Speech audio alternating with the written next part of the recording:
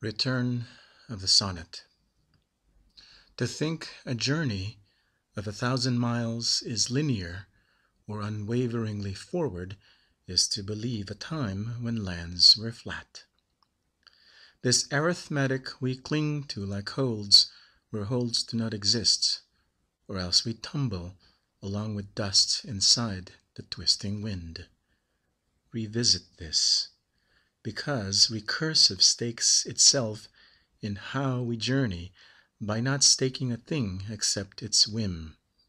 Do not predict. Expect deflect at any moment. Sets uncertainty may come with. No denying of this in any measure will endure. The poet knows we shall return to where we were again before arriving there.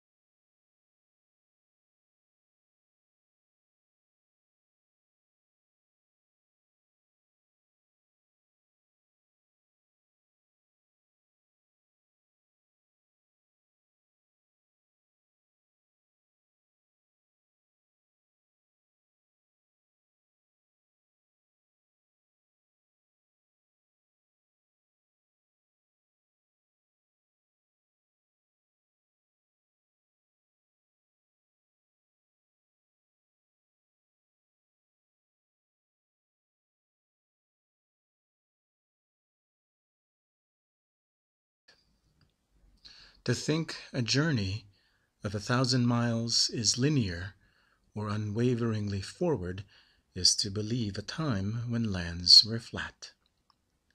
This arithmetic we cling to like holds where holds do not exist, or else we tumble along with dust inside the twisting wind. Revisit this, because recursive stakes itself in how we journey by not staking a thing except its whim. Do not predict.